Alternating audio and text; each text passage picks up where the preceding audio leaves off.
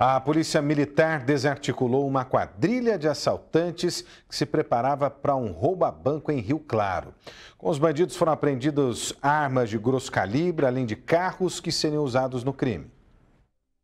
O cerco policial contra a quadrilha aconteceu logo na madrugada em dois endereços de Rio Claro, em um hotel na região do Distrito Industrial, em uma casa no bairro Parque Universitário. Segundo a Força Tática da PM, o bando especializado em roubar agências bancárias e que agia no Paraná, confessou que iria praticar crimes na cidade. De acordo com essas informações, desenvolvemos uma operação de força tática e através de algumas diligências conseguimos detectar dois locais onde estaria sendo realizado reuniões. Né? Na ação, os policiais militares conseguiram prender oito homens, dois irmãos de Rio Claro, um de Americana e cinco de Curitiba, no Paraná.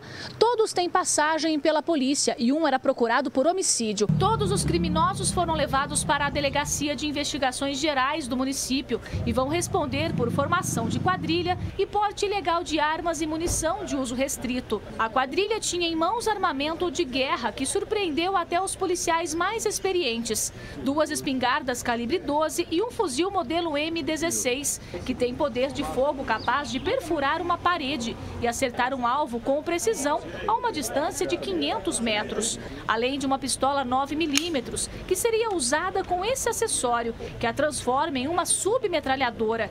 Depois de acoplada ao adaptador, a arma que tem capacidade para 20 projéteis passa a disparar até 120 tiros em 10 segundos.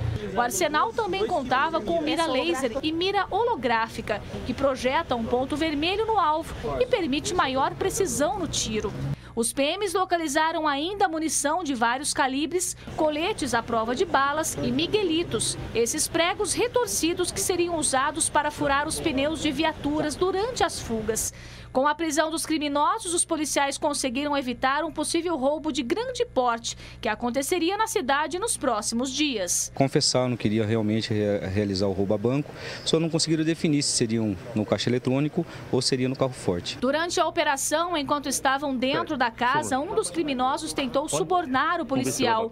Ofereceu 100 mil reais mais um carro para que ele deixasse o irmão fora da ocorrência. O PM gravou a conversa com o celular.